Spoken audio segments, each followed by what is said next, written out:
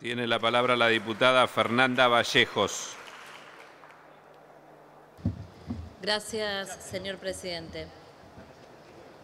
Bueno, estamos en esta segunda jornada después de haber aprobado esta mañana la ley de saqueo previsional frente a la insistencia del oficialismo de aprobar esta nueva ley que han llamado de reforma tributaria.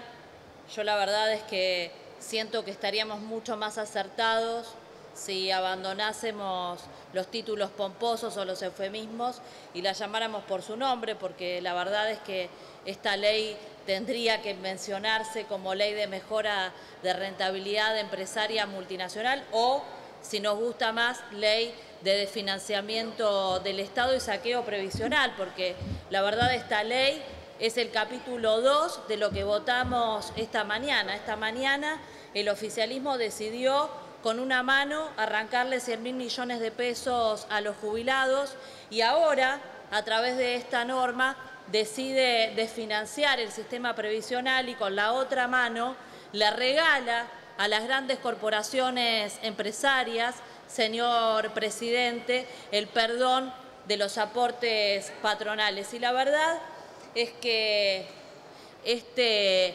beneficio, este obsequio, esta generosidad que muestra permanentemente el gobierno con las grandes corporaciones económicas, con el gran capital y particularmente con el gran capital multinacional, es algo que se cristaliza en absolutamente todas sus políticas y como no podía ser de otra manera, se cristaliza absolutamente en cada uno de los artículos de esta norma que hoy se quiere aprobar y en el espíritu general que nutre a esta ley. Eh, lo escuché con mucha atención al diputado Laspina, es una pena porque el colega economista no, creo que no está, no lo veo ahora, pero mencionó cinco puntos que pretendidamente aluden a los objetivos que se perseguiría con esta norma. Se mencionó que se busca reducir la informalidad laboral y se hizo alusión en ese contexto justamente a la reducción de aportes patronales. Efectivamente, el caso argentino desmiente que la reducción de aportes patronales mejore la situación en el mercado de trabajo. Efectivamente no hay nada de nuevo en todo esto. Esto ya se ha practicado en otros periodos neoliberales de nuestra historia, por ejemplo, la década del 90, y como todos aquí sabemos, conforme avanzó la reducción de aportes patronales, avanzó también la desocupación en la Argentina y el aumento de la informalidad. Eh, pero si no alcanza el ejemplo de Argentina, también la experiencia internacional desmiente que esto sea así. Podemos ir a buscar, pueden ir a buscar los diputados del oficialismo que son más afectos a los estudios foráneos, un excelente informe que realizó la Organización Internacional del Trabajo, tomando más de 100 países como universo muestral, donde se han aplicado medidas de esta naturaleza, y por supuesto el resultado que arrojó ese estudio es el esperable, que lejos de conseguirse mejoras en el mercado de trabajo, lo que se obtuvieron fueron los resultados exactamente opuestos. Recuerdo, y lo quiero citar aquí, que los señores ministros, en el pseudo debate que se dio en la comisión, cuando se discutió en reunión informativa esta norma, mencionaron algunos países como ejemplo de supuesta buena práctica vinculado a los bajos aportes patronales que tenían. Entre ellos, México y Chile fueron dos ejemplos destacados que se los suele utilizar como ejemplo para muchísimas otras cosas.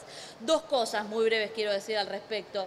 Chile es un pésimo ejemplo y atamos estas dos medidas, la que se aprobó esta mañana y esta, porque este es un paquete de ajuste eh, que no puede sino leerse de manera integral.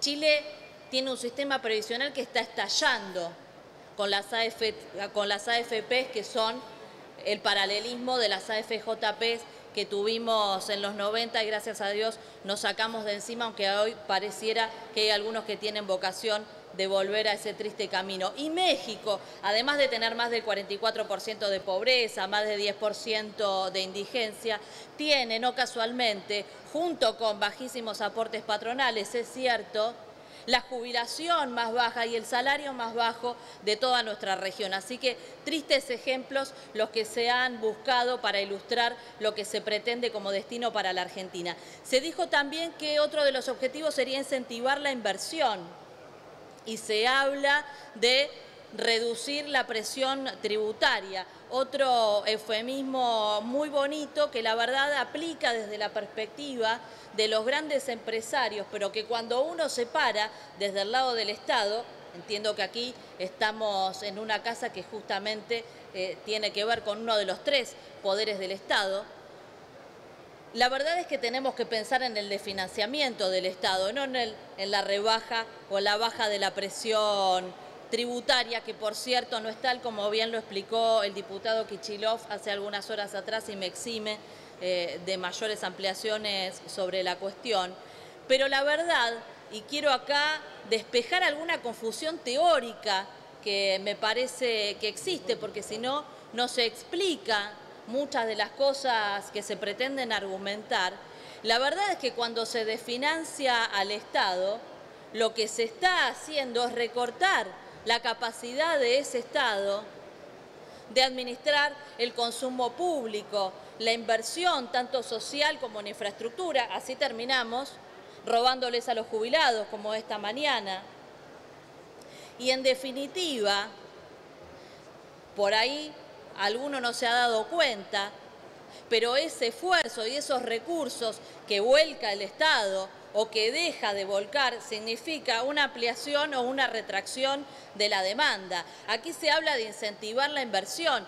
Pues bueno, es hora de que nos despabilemos de que la inversión está determinada por la demanda. Entonces, ¿cómo se entiende esta contradicción de decir, por un lado, que lo que se quiere es incentivar la inversión y por otro lado estar permanentemente recortando la demanda, recortando el consumo del Estado y recortando las posibilidades de consumo de la enorme mayoría de los argentinos, por ejemplo, de los jubilados, porque esos 100 mil millones de pesos que se les acaban de robar son 100 mil millones de pesos que se sustraen a nuestro mercado interno, del que viven también nuestras pymes a las que tantas veces se alude, pero tampoco se las tiene en consideración efectiva a la hora de diseñar la política económica.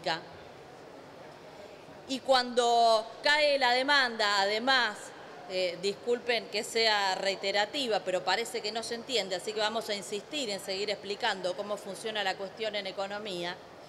Cuando se cae la demanda, además de restar estímulos a la inversión, lo que termina pasando al final de la cadena es que se destruye empleo, como viene sucediendo en la Argentina, como venimos observando en los últimos dos años, donde la tasa de desocupación pasó desde el 5,9% cuando Macri asumió al 8,3% que tenemos hoy. 2,5 puntos porcentuales de crecimiento del desempleo en nuestro país y se dice con todo desparpajo sosteniendo la misma política y aún profundizándola con este tipo de reformas regresivas que se buscan imponer, que esta situación se quiere mejorar. La verdad que la contradicción no resiste ningún argumento. Se habló también de competitividad. Diputada, ¿podemos ir cerrando? Ya, termino, presidente. Y la verdad es que eh, la verdad, eh, sí, tiempo, tiempo, tiempo y mucha hipocresía, porque que un gobierno que ha implementado estos tarifazos brutales, cuando, cuando la cuestión energética es uno de los vectores fundamentales de competitividad para nuestro sector productivo, discúlpeme, ya termino con un presidente del Banco Central que instrumenta estas políticas pro timba financiera. y no se dice que el financiamiento también es un vector fundamental de competitividad. Y se habla de competitividad, la verdad es que todo Gracias, esto señora diputada. una tomada de pelo. Gracias. cierro. No puedo, no puedo. Bueno, pero cierre. A ver. No, no, no. El micrófono, el micrófono.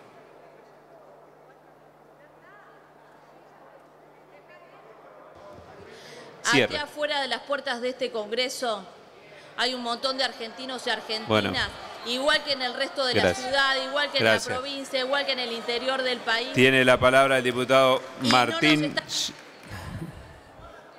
Ya está.